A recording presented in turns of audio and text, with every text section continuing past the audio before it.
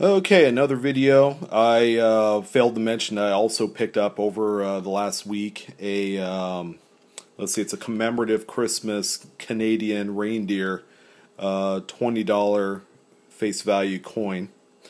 Uh, this is what it looks like. There you go.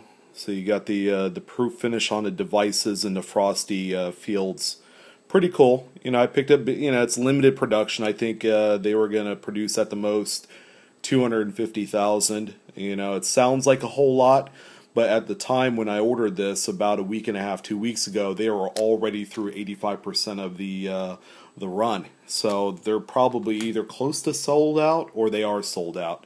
This card right here is the official. Um, uh, certificate of authenticity for this coin, and the thing is, you know, folded. It's like an eight and a half by five and a half card.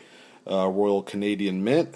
Of course, you got the the photos on there of the reindeer coins, and they only sell it one way. They don't have an all satin finish type of coin like uh, what the illustration portrays there. It's actually all of the reverse proof that you see here. And also put it next to a brand new Denali quarter to give you a size comparison. It's not too much bigger.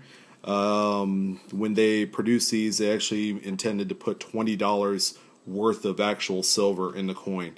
And it's 0.999 fine, argent pure, as you can see right there.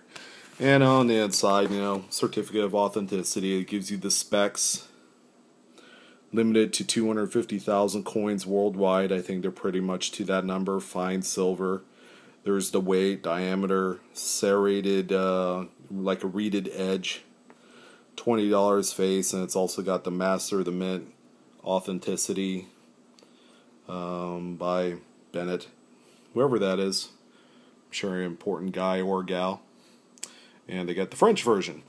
So cool, nice little pickup. A little bit of silver never hurts anyone, and uh, it's a limited production piece. Uh, you know, and it'll only cost twenty dollars. Of course, the shipping will get you, but you know, in the long run, you're gonna sell it for at least what you paid combined. Uh, so that is the twenty dollar Christmas reindeer Canadian commemorative. All right, thanks for watching, guys.